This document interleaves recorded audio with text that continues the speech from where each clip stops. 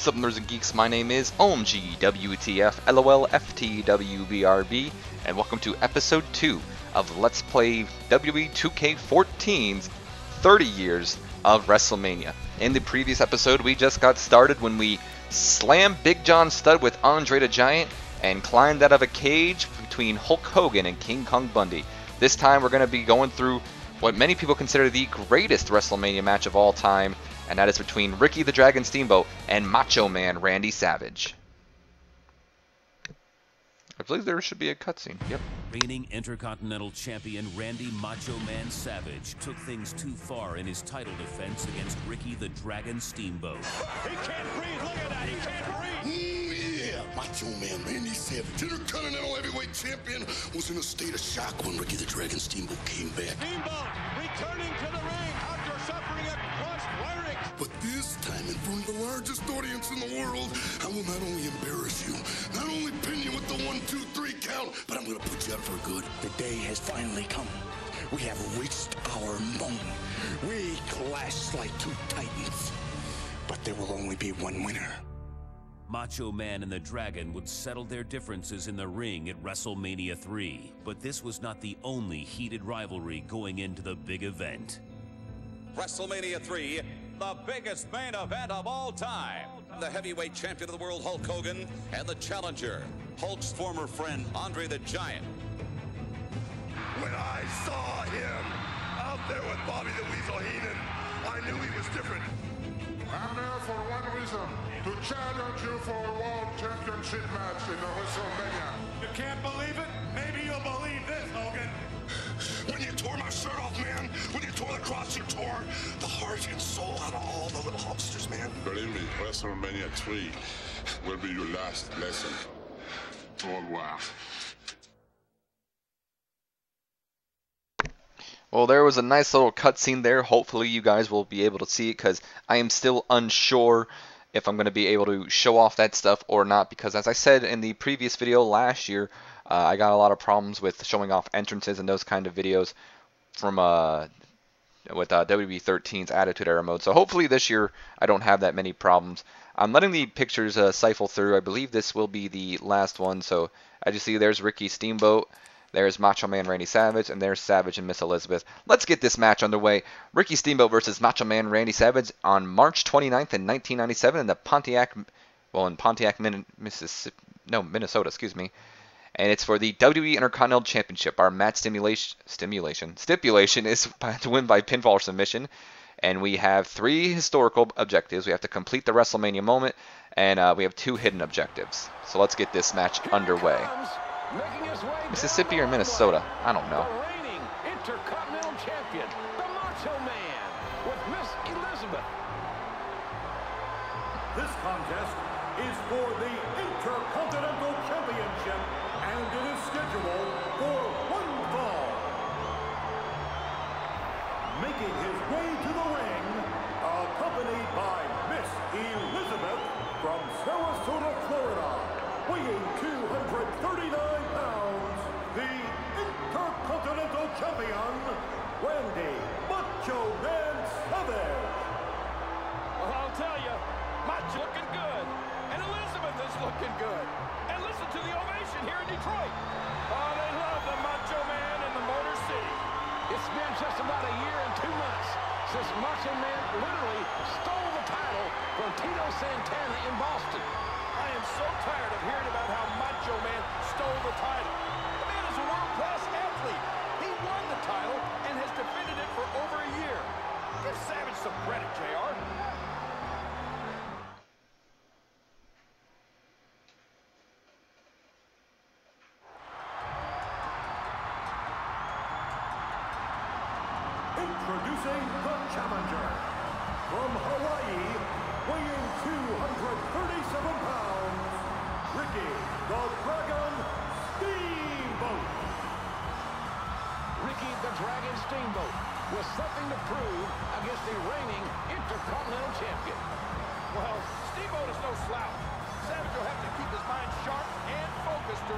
his Intercontinental Championship tonight. Very true, King.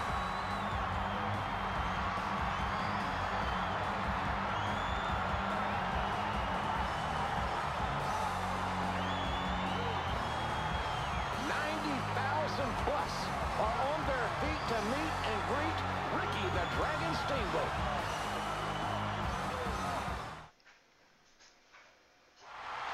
Well, alrighty then. Uh, very nice entrances there, very lifelike, and uh, believe they're exact replicas of um, the entrances from the actual WrestleMania. I've seen this match many times, and I do agree with a lot of people. It is ar arguably one of the greatest WrestleMania matches of all time. But uh, it was very lifelike. The entrances seem so surreal there.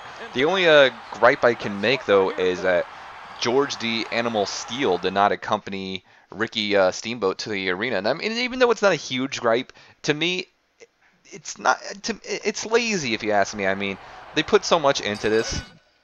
And uh, wait, WrestleMania moment on the four, but no, this is just like last year. Objectives may, yeah, this is like last year also. So it's just like, I'm not mad about it, but if I had to make a gripe, that would be it because, I mean, we've seen them make Bobby the Brain Heenan. We've seen them make Miss Elizabeth. Why not make uh, George the Animal Steele? And I guess you can make the argument that, well, if they made Steele in the game, they might as well make him a playable character. And my argument back is, it's already well known that Mr. Perfect is in this game as a manager exclusive only, unless of course you get downloadable content. And uh, we don't get to play as him, so I don't know.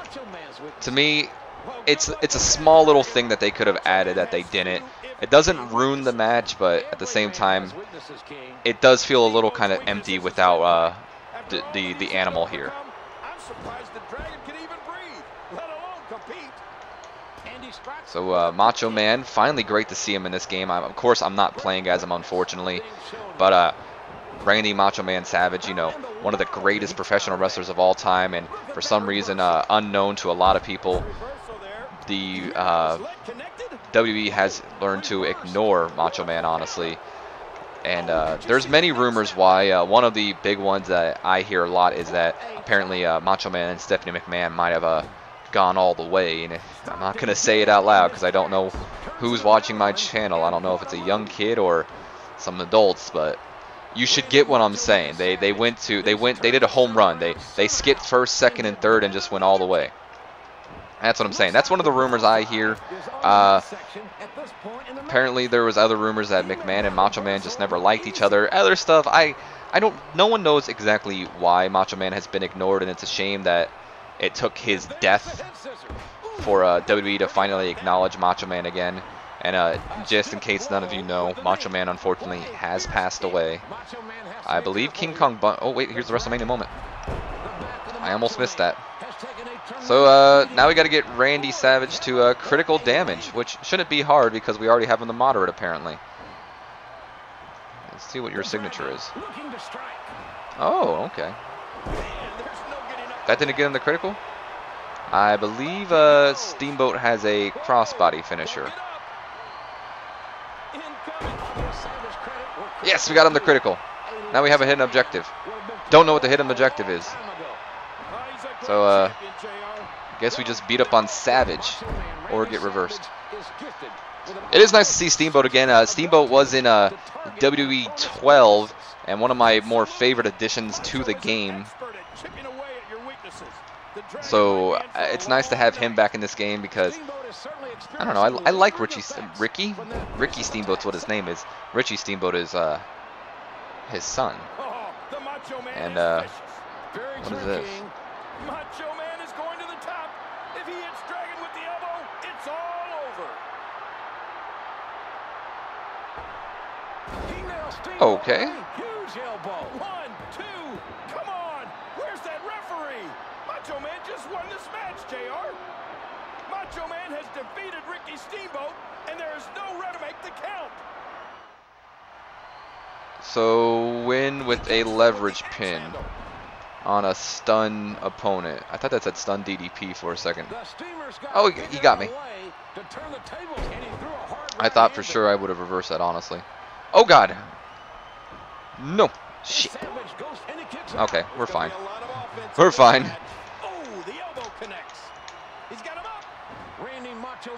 Scoop that guy up. No pinning, though. All right, let's see if we can get in right now, actually. Uh, let's go for it. Got a leverage pin. Yay! We win. All right, cool.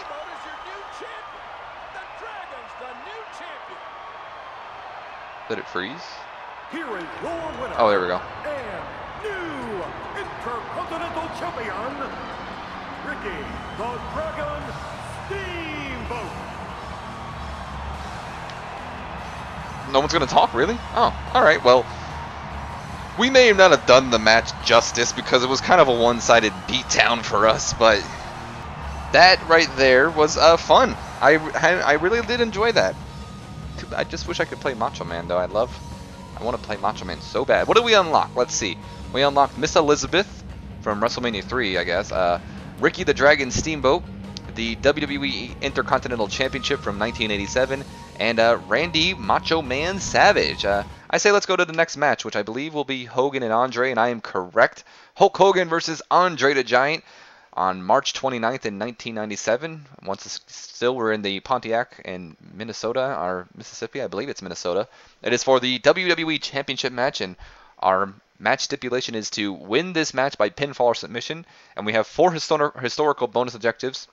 One is to grapple Andre when he's at light damage by the ring steps, and then we have three hidden objectives. So let me go through the pictures. As you see, uh, this is all with Andre, Hogan, and Macho. I mean, not Macho Man. Uh, Roddy Piper. Here we have Hogan and Piper, and here we have Andre, Hogan, and Piper again. Yeah, they're all, all the same.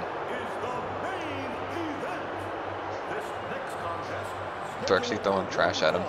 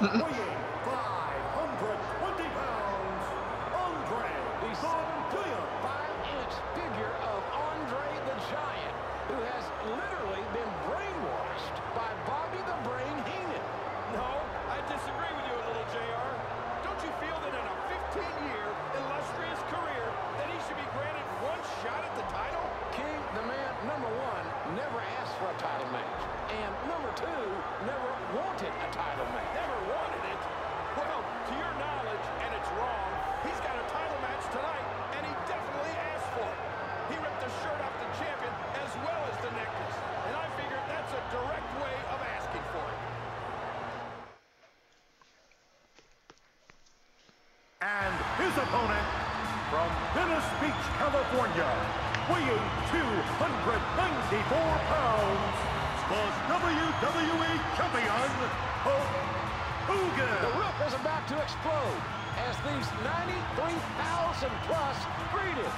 You're looking at the greatest professional athlete in the world today, the WWE Champion, Hulk Hogan. Well, he's the champion right now, JR, but he may not be in a few minutes. Let me run it down. Hogan, 6 foot 8, 294 pounds. Neck, 21 inches. Chest, 58 inches. Biceps at a phenomenal 24 inches. Hands, 13 and a half inches. And that's the tale of the tape. A phenomenal individual. Just look around, King. Hulkamania is alive and running wild.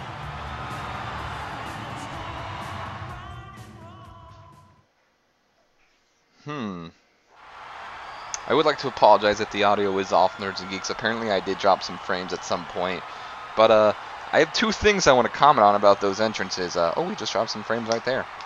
Uh, one, uh, I really love the touch of the fans throwing garbage at both Andre and uh, Bobby the Brain Heenan.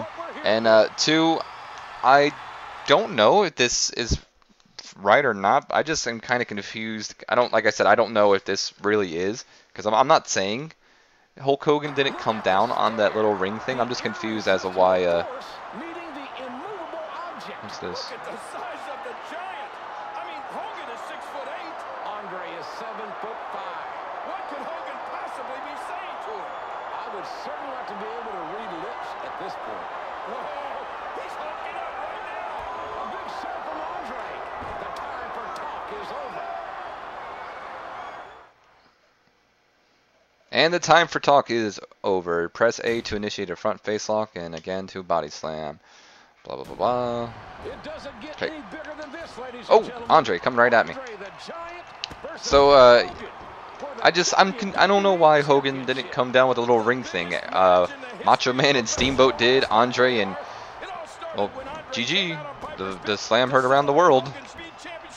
That's not a big thing. I don't even know if he really did enter without with one or not.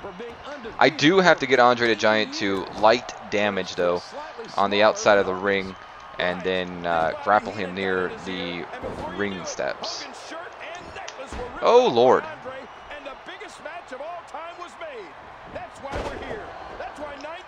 Alright, come on, we can take Andre. So a lot of people credit this match to being uh, what really got WWE booming. I mean, it was the slam heard around the world, and you'll see later when we have to slam Andre the Giant. Spoiler alert if you didn't know that you're not a wrestling fan. I'm just saying. Oh, we got him the light, so uh, let's get him on the outside. Please don't put him the moderate. I don't know if it works like that.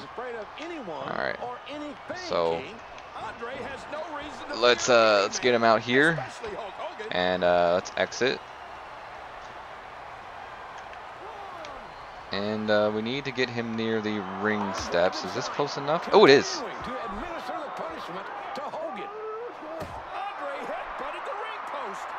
Ooh.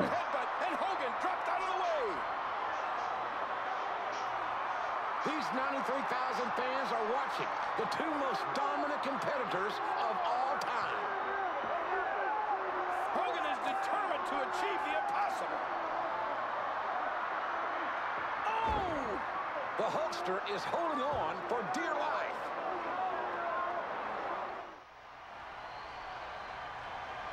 So we got that. Now we have to Irish whip Andre when he's at critical damage in the ring. Okay. I want to say that headbutt looked very vicious. What do I have? Oh, I have a comeback. Ah, uh, should I use it? Uh, it might it might help me damage him a little bit more. All right, yeah, we'll use it. Let's use it. Let's use this comeback. Uh, what do we got to do? I'm assuming we got to lift him up. And now we can do it.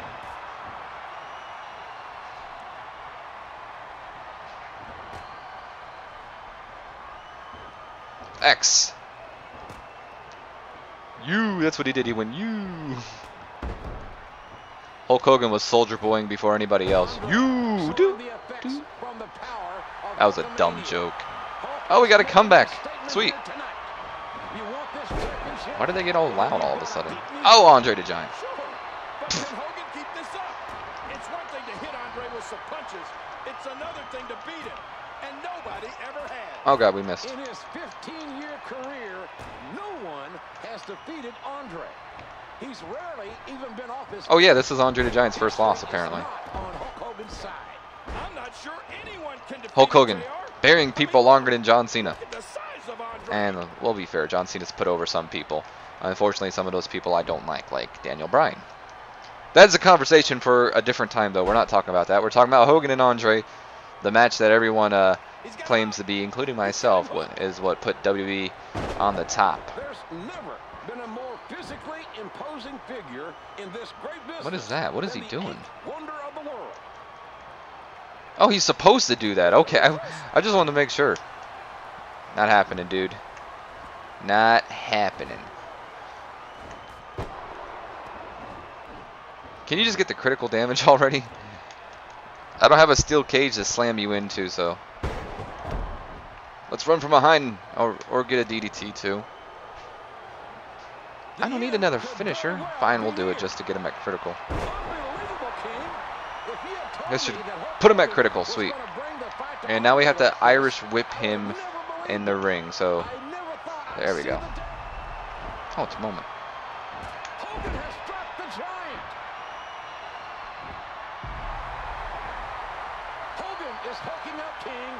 We're seeing what Hogan really made of.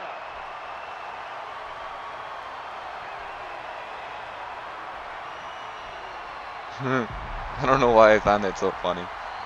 Is this the WrestleMania moment too? Oh, it has to be. We just slammed Andre the Giant. And now we just got to hit him with a leg drop. Let's do it.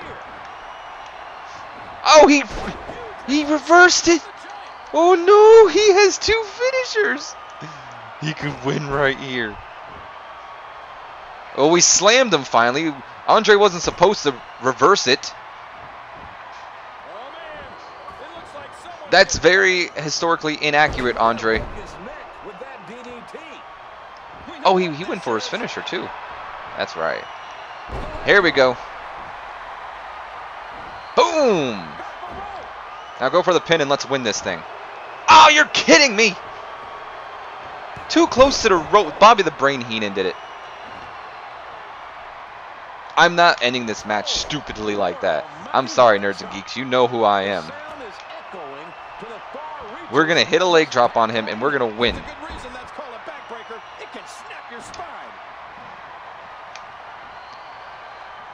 Alright. Stay there. There's the boot! And now here we go. Now we'll hit a leg drop. That's like four leg drops. That should definitely put a man down. And there we go.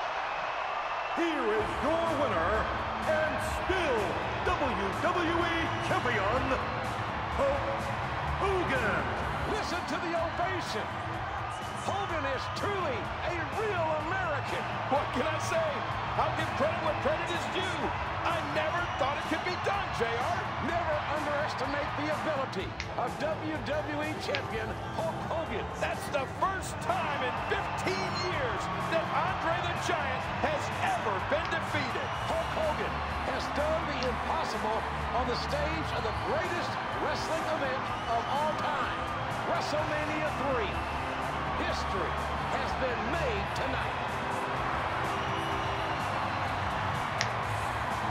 And history was made.